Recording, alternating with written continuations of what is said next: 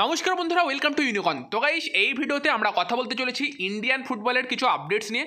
Transfer news আছে SC east Bengal ATK মোহনবাগানের update আছে।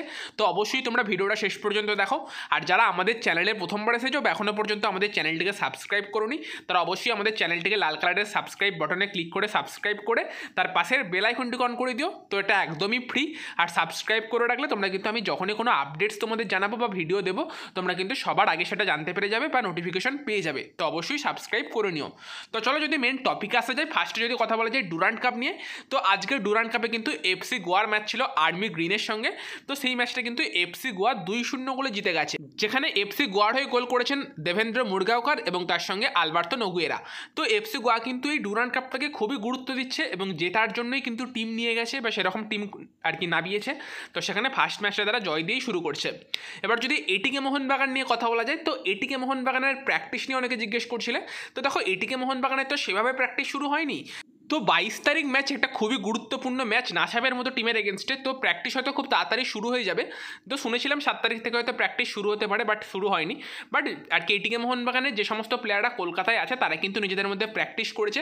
তোমরা স্ক্রিনে ভিডিও দেখতে পারো, যেখানে কিন্তু নিজেদের মধ্যেই প্র্যাকটিস করছে প্লেয়াররা তো সেখানে মাইকেল সুসাইরাজ, আশুতোষ মেহতা, প্রবীর দাস বা ডেভিড উইলিয়ামস, তার সঙ্গে অভিলাষ পালের মতো প্লেয়াররা কিন্তু নিজেরাই নিজেদেরকে হেল্প করছে প্র্যাকটিস করছে বা গা ঘামাচ্ছে। তো এটাই কিন্তু আপাতত এটিকে মোহনবাগানের প্র্যাকটিস নিয়ে আপডেট আর হাবাসের তত্ত্বাবধানে হয়তো খুব শীঘ্রই প্র্যাকটিস শুরু হয়ে যাবে। এমনিতে তো প্লেয়াররা ম্যাচের মধ্যেই আছে। ইন্ডিয়ান প্লেয়াররা তো নেপালের এগেনস্টে খেলছিলই। বাকি কৃষ্ণ উইলিয়ামসে তো প্র্যাকটিস করছেই। তো খুব তাড়াতাড়ি হয়তো অফিসিয়ালি প্র্যাকটিস স্টার্ট হয়ে যাবে এবং বাইশ তারিখ কিন্তু খুবই ইম্পর্টেন্ট ম্যাচ এটিকে মোহনবাগানের জন্য এএফসি কাপের পড়ে আছে। তো দেখা যাক এবার পরবর্তীকালে কি আপডেট আসে তোমাদের অবশ্যই জানিয়ে দেবো।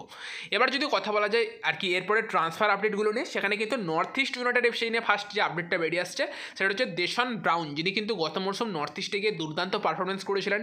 প্রচুর গোল করেছিলেন। সেই দেশন ব্রাউনের সঙ্গে কিন্তু নর্থ ইস্ট ইউনাইটেড এফসি তারা কিন্তু কন্ট্রাক্ট এক্সটেনশন করতে চলেছে।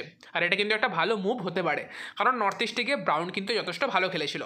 এর সঙ্গে যদি মুম্বাই সিটি এফসি নিয়ে কথা বলা যায়, তো মুম্বাই সিটি এফসি কিন্তু অফিসিয়ালি তাদের এএফসি ফরেনারের নিউজটা অ্যানাউন্স করে দিয়েছে। তবে আমি তোমাদের অনেকদিন আগেই জানিয়ে দিয়েছিলাম যে গত মরশুম এটিকে মোহনবাগানের হয়ে খেলতে আসা এবং পরবর্তীকালে উড়িষ্যা এফসিতে যাওয়া player Australian attacking midfielder Brad Inman তো তাকে কিন্তু মুম্বাই সিটি এফসি সাইন অনেকদিন আগেই করিয়ে ফেলেছিল। ট্রান্সফার উইন্ডো শেষ হবার আগেই।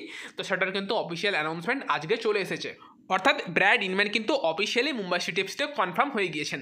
এবার যদি কথা বলা যায় এসসি ইস্টবেঙ্গল নিয়ে, তো এসসি ইস্টবেঙ্গলের ফরেন প্লেয়ারদের নিয়ে তোমাদের আপডেট দিয়ে দিচ্ছি।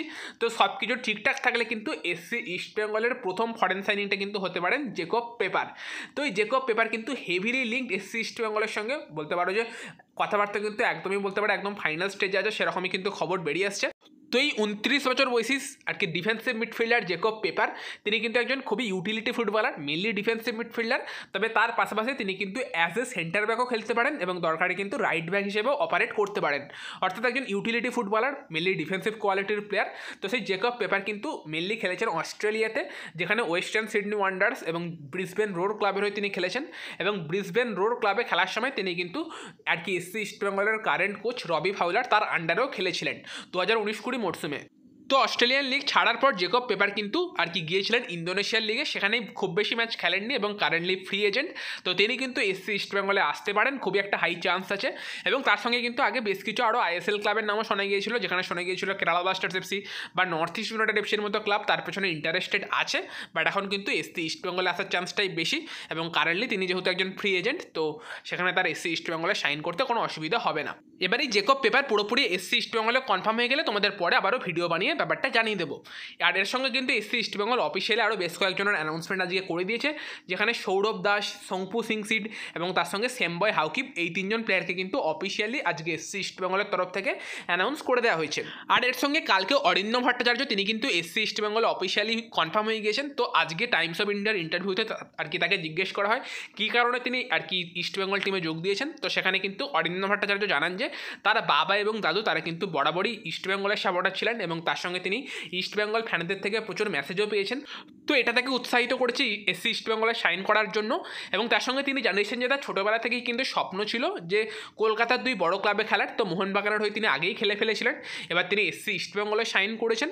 তো সেক্ষেত্রে কিন্তু অরিন্দম ভট্টাচার্য জানাচ্ছেন যে তার স্বপ্নটা পূরণ হয়েছে এবং তার সঙ্গে তিনি জানিয়েছেন যে তিনি এসসি ইস্টবেঙ্গলে অ্যাজ এ সিনিয়র প্লেয়ার দায়িত্ব নিয়ে খেলতে চান এবং তার সঙ্গে রবি ফাউলারের মতো একজন লেজেন্ডের আন্ডারে খেলতে পেরেও তিনি উৎসাহিত এবং তার সঙ্গে তিনি এটাও বলেন যে আর কি এসসি ইস্টবেঙ্গলকে ভালো কিছু করার জন্য কিন্তু একটা ভালো প্রিসিশনের দরকার আছে।